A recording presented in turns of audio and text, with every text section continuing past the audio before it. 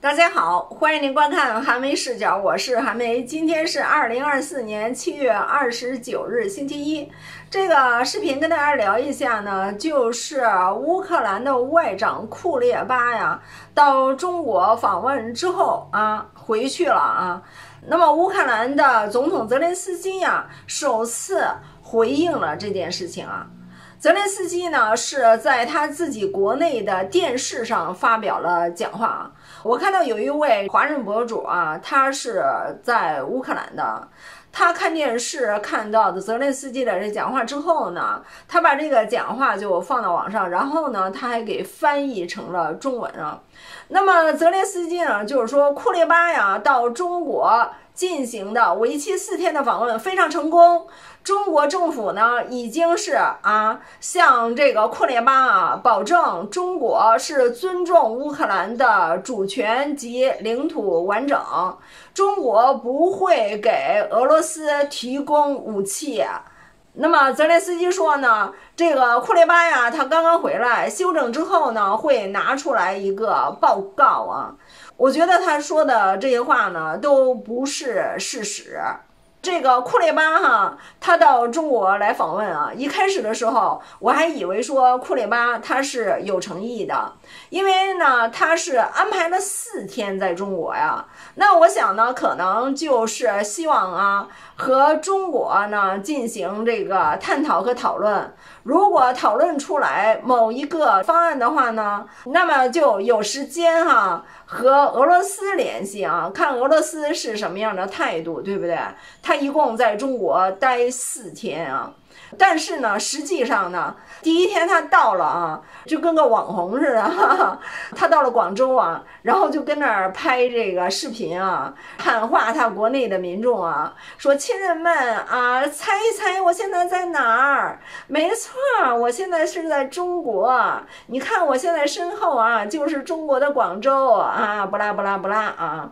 完了以后呢，第二天王毅呢就接见了他。进行了三个多小时的一个会谈，会谈完了以后啊，人家王毅啊就该干嘛干嘛去了。那么中国外交部呢就发表了一个文字稿啊，文字稿里面很关键的一句话呢就是啊，俄乌和谈啊还不具备条件。我们现在可以来看一下啊，就是中国外交部当时所发布的那个文字稿啊。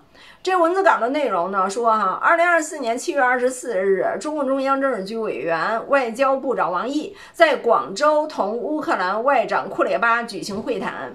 王毅说，中乌互为友好国家，双方交往历程中沉淀下来的都是友谊与合作。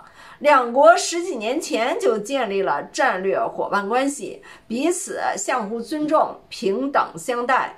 互利合作持续推进，两国元首强调要从长远的角度看待和谋划两国关系，把中欧关系和双边合作向前推进。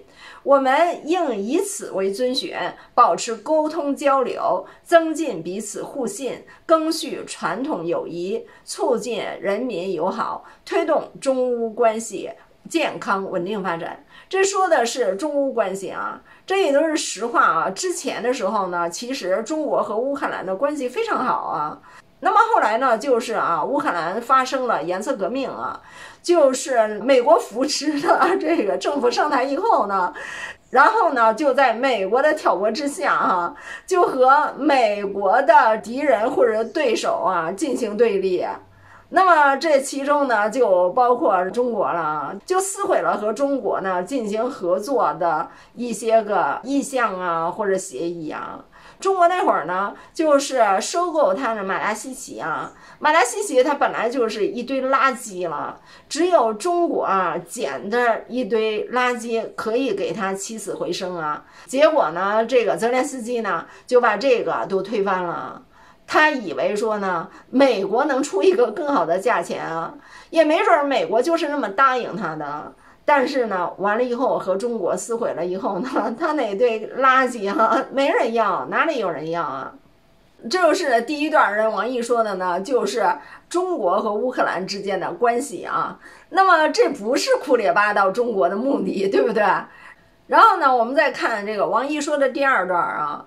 王毅表示说，中国共产党二十届三中全会开启了第一轮全面深化改革的征程。中国全面推进中国式现代化，将为各国人民带来新的机遇。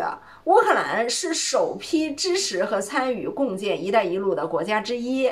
近年来，中国一直是乌克兰最大的贸易伙伴和农产品最大的出口国。今年上半年，双边贸易额呈现了快速增长的势头，展现了两国合作的空间和潜力。双方应该发挥两国合作机制的作用，加强各领域的务实合作。中方将继续扩大自乌粮食进口，共同维护物流通道畅通和国际粮食安全。感谢乌方在冲突爆发初期为中国公民，特别是留学生撤离提供的帮助。希望乌方继续采取有效措施，确保在乌中方人员和机构的安全。这说的呢，就是现在啊，中国和乌克兰之间的这个经贸合作以及呢人员交往，对吧？这个呢，其实也不是库列巴来访的目的，对不对？然后呢，我们就看了啊，王毅的第三段。就来到了这个乌克兰所关心的俄乌冲突了啊！咱们看王毅怎么说的啊？王毅就说呢，乌克兰危机啊已经进入第三个年头，冲突还在持续，并存在升级外溢的风险，这都是事实啊！中方始终坚定致力于推动危机政治解决，这也是事实吧？对不对？习近平主席提出四个应该，为此提供了重要遵循。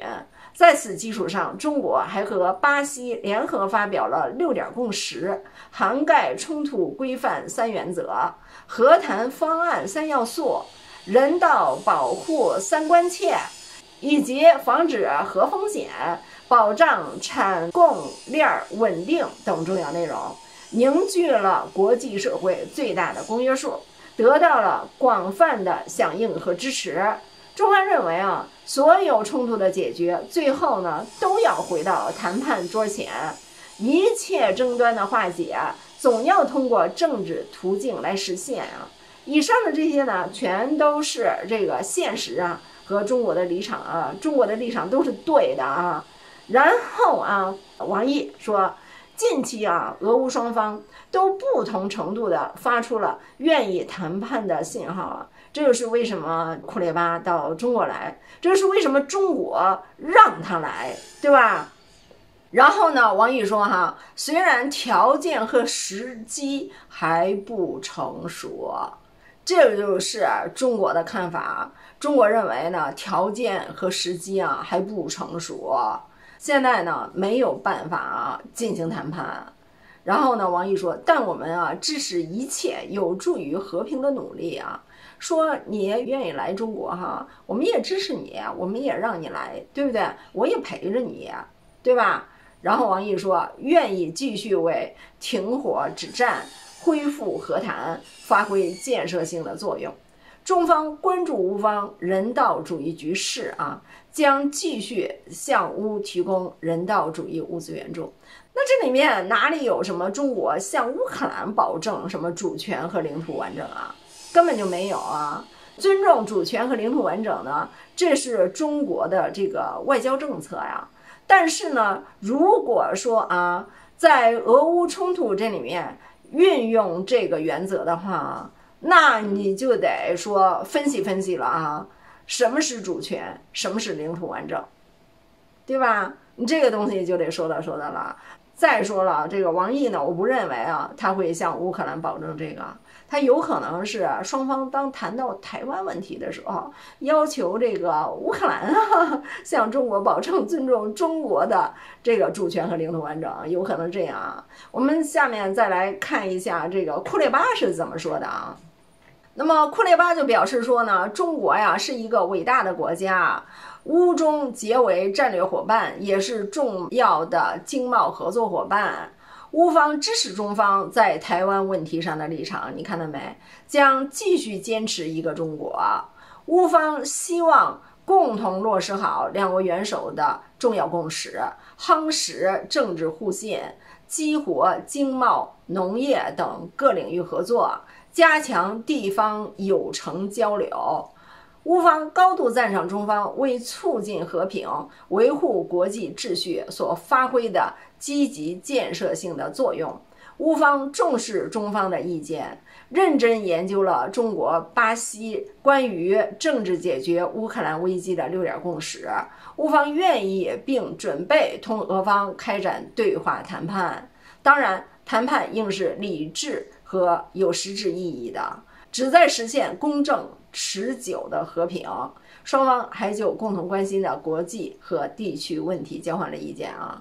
那么从这里面呢，我们就根本就看不到这个泽连斯基在他的国内电视讲话里面所提到的那两点啊，我们根本就没有看到啊。他们一贯的呢，就是啊，睁眼说瞎话，就撒谎、曲解、蒙骗国际社会。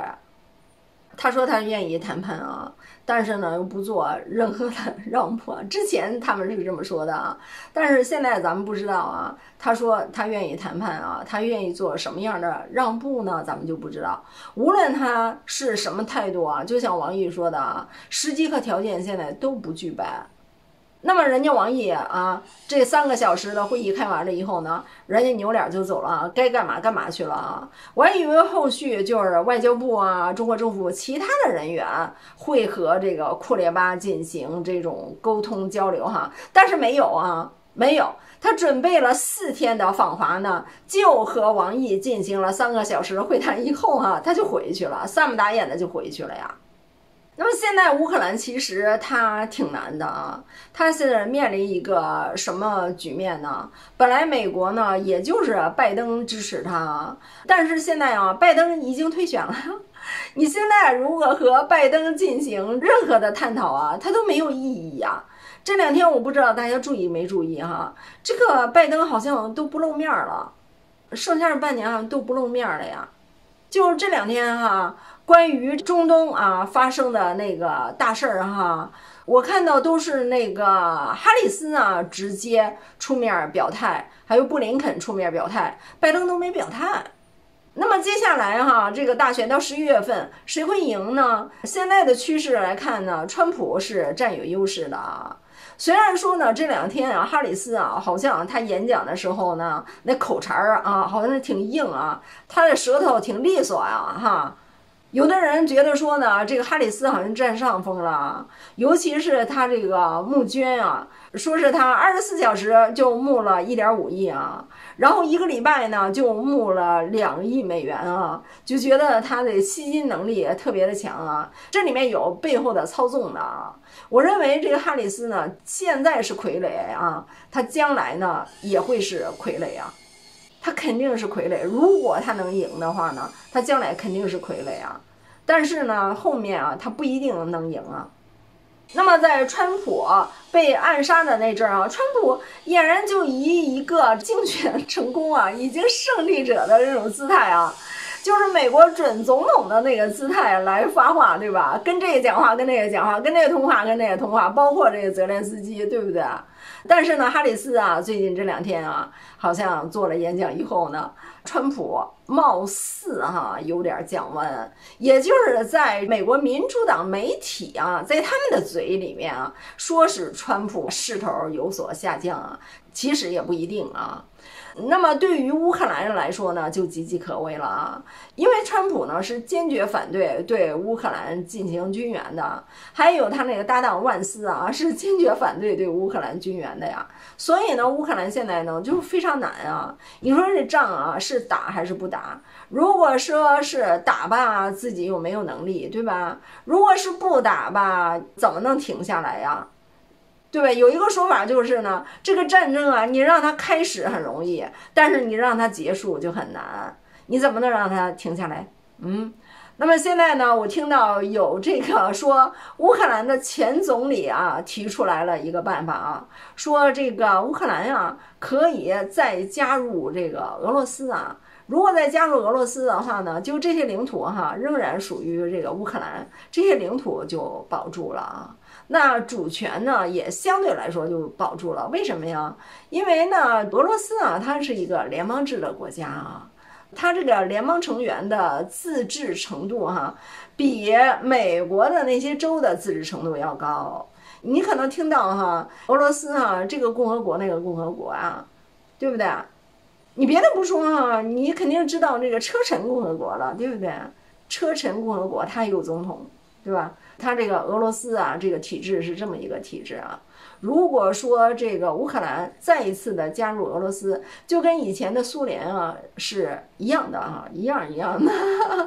这个乌克兰的前总理提出这么一个，当然了，他提出的这个啊，在乌克兰啊，应该。不会被广泛接受，尤其是目前的这个阶段。